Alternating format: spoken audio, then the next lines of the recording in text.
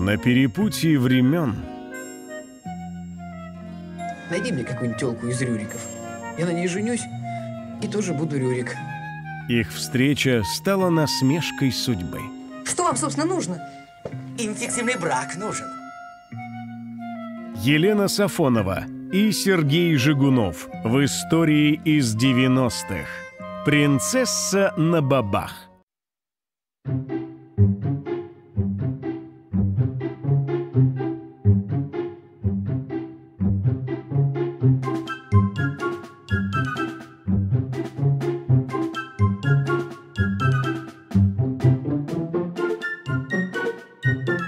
Thank you.